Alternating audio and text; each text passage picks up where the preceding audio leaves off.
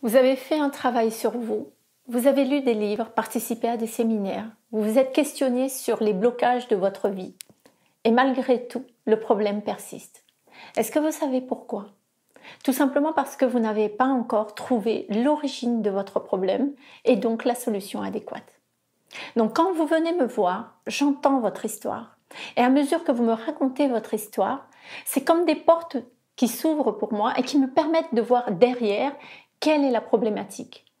Grâce à mon intuition, je vais donc cibler la source de votre problème par rapport à la problématique que vous allez déposer en consultation individuelle. Et c'est cette lecture des blocages inconscients qui va vous permettre justement de comprendre pourquoi vous vivez ces situations qui vous sont si difficiles et qu'est-ce qui fait que vous n'arrivez pas à vous en sortir. Cette lecture va vous permettre du coup de trouver les solutions de manière simple et adéquate.